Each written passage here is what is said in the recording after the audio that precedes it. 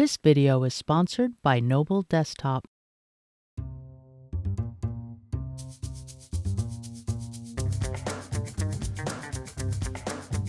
So when we're talking about bitmap files, uh, we're all concerned about getting the best quality we can, right? Quality, resolution, and file size are unavoidably linked. So um, if you you know increase the resolution, the file gets a lot bigger. Uh, if you make the file too small, too aggressively, then your quality is going to go down, etc. So what is the proper image size? How much resolution do you need in an image? How many pixels wide should it be by how many pixels tall?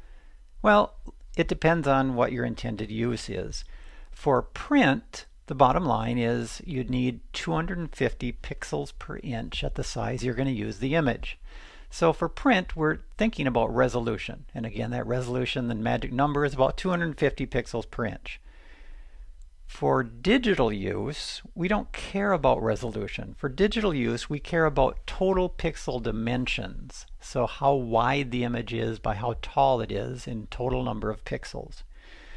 And depending on your age and how long you've been working with uh, stuff on a computer, um, some of you will have trouble grasping this and some of you will be like, what's the big deal?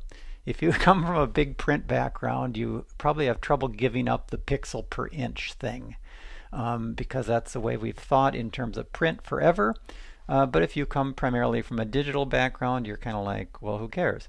So again, print, you need to think about pixels per inch, but for digital stuff, we care only about total pixel dimensions.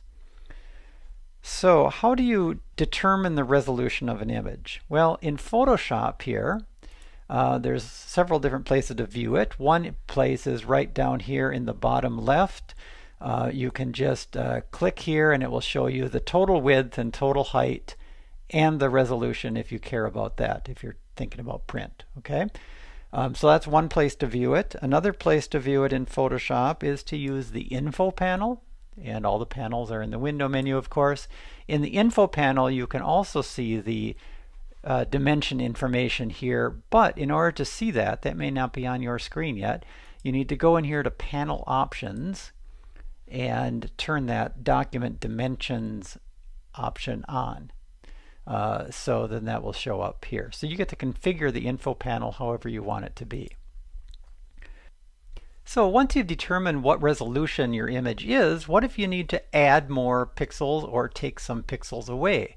to make the image bigger in dimension or smaller in dimension? Well, the place that that's usually done is in Image, Image Size in Photoshop. However, you probably don't need to come here very often to reduce the dimensions of an image because you can successfully do that as you export pretty well. So we're going to see how to export easily from Photoshop and Illustrator and things like that in a little bit. Uh, and so we'll see how to downsample in those cases, how to throw resolution away to make the image smaller. But if you need to add pixels, this is the place to go. And the key here is to make sure that resample is checked. And let's just say that in this case I need to make this uh, image um, 11 inches wide at 240 pixels per inch because I'm going to uh, use this in a big print poster or something. So I'm going to uh, change the dimensions to 11 inches, change the resolution to 240 pixels, and we can see now that it was uh, 2.66 megabytes in size. Now it's increasing all the way up to 13 megabytes because we're adding resolution. We're making it larger in pixel dimension. Um, and if I zoom in here and take a look at some of the fine detail here, um, when Photoshop has to add resolution, it has to like look at two pixels that are next to each other and figure out how to put uh, a bunch more pixels in between those neighboring pixels. And it can't just invent things very easy, right? It doesn't know what color to make those pixels that it's putting in between. Um, and so it uses various algorithms to do that. And if this is set to automatic, it does a pretty good job. But I would encourage you to switch this to Preserve Details 2.0. Preserve Details will do a much better job than um, automatic. You can see the difference here. Um, here's automatic. Here's preserve details. Um, does a nicer job of keeping the fine image detail and things like that.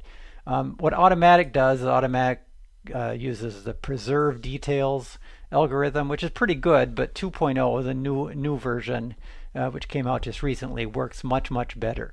So for most images, if you're going to scale them up, you want to set this to preserve details 2.0, and it will do a reasonably good job. But if you have a real low res image that you're trying to make huge, it's just not going to cut it. It's going to look pretty blurry no matter what you do. Uh, so you need to have some resolution to begin with in order to generate a, a better image. But this does a reasonably good job. Well, I hope you enjoyed this video. If you did, be sure to give it a like and subscribe to our channel. And for thousands more how-to articles and tutorials, visit our website, creativepro.com and become a member today. Thanks for learning with us.